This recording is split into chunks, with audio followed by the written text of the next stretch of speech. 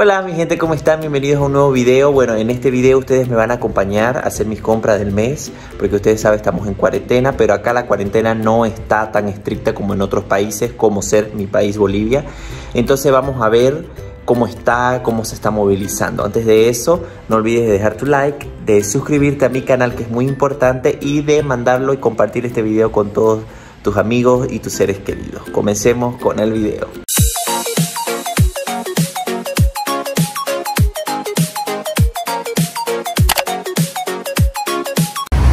Entonces mi gente, como pueden ver hay movimiento de autos, solamente hay personas que usan barbijo, como no.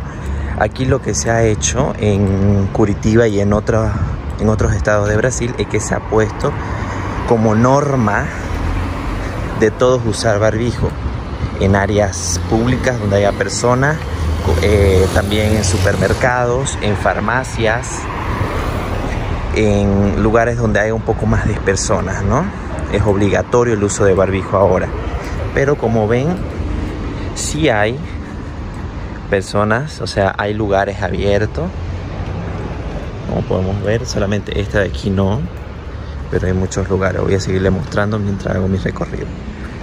Pero ven, pueden observar, hay personas, allá hay carros. Y seguimos. Como vemos, hay personas, son esos son los deliveries que están trabajando, personas trabajando, limpiando. O sea, hay poca gente, pero sí hay gente por las calles.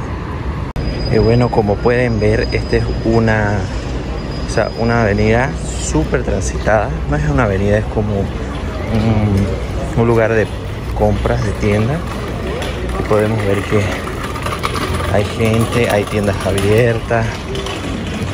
Se llama Rúa de Rúa 15. Entonces vemos muchas tiendas ah, trabajando, ¿no? Entonces como ven aquí no es una cuarentena 100%, ¿no? Las personas las que están en sus casas es porque por voluntad propia. Entonces mi gente, como ven aquí circula la gente. Yo estoy yendo al mercado. Eh, y aquí es una es una un bulevar, podemos decirle, que está súper. O sea, hay gente, hay tiendas abiertas, como ustedes pueden ver. Hay lugares abiertos, hay mucha gente transitando también. Entonces, siempre manteniendo yo, manteniendo mi distancia, ¿no?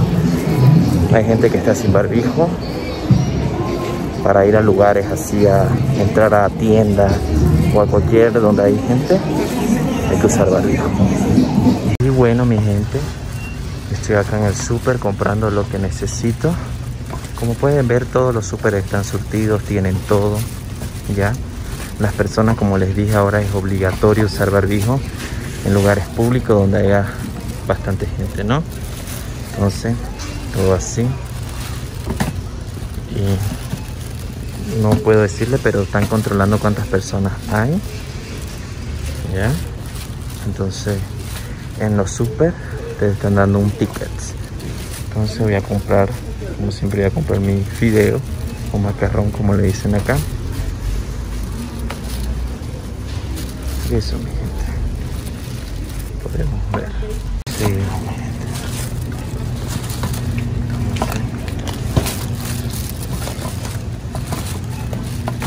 así seguimos están controlando eh, lo que son las personas ¿no? y están al entrar nos colocamos él al salir también.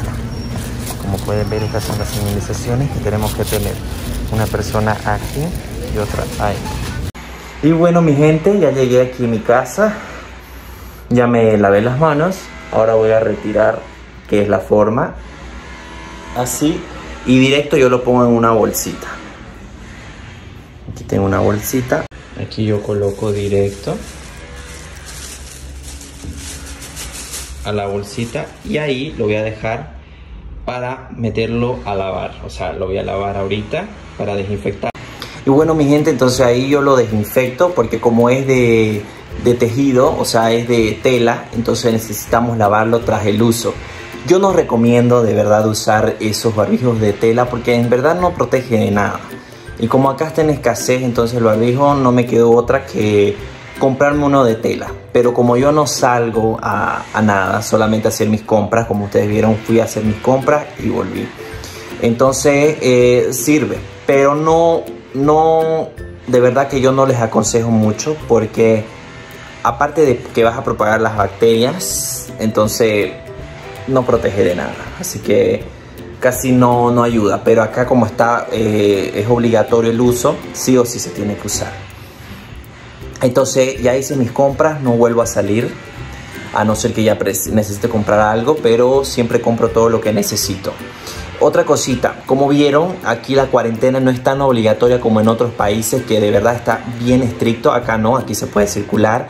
Como vieron, hay locales abiertos, hay tiendas trabajando, hay personas que todavía están circulando en las calles, unos con barbijo, otros sin barbijo, hay transporte. Entonces, como ven, no, no están, o sea, todavía no se está acatando bien estrictamente, ¿no? Y eso que los casos acá en Brasil siguen aumentando, ya hay más de, creo, creo que hay 50 mil personas o 45 mil a 55 mil a 50 mil. Entonces eh, son bastantes personas. Las personas acá en Curitiba por lo menos están acatando lo que son la cuarentena. Eh, entonces eso ayuda muchísimo. No sé cómo estarán en otros estados, pero eso es lo que yo les mostré ahorita. Yo lo estoy viendo con ustedes porque como saben yo no salgo, entonces he visto bastantes personas y, como, y lo que les pido acá es que se cuiden, ¿no? A las personas de mi país que se cuiden mucho, a los de otros países cuidémonos, lavémonos la mano, las, manos, eh, usemos el barbijo adecuado, no saquemos ni lo estemos refregando en nuestras caras. Espero que les haya gustado este video, no olviden de dejar su like, de suscribirse a mi canal, comentar y por favor, por favor se cuidan muchísimo. Nos vemos en un próximo video. Chao, chao.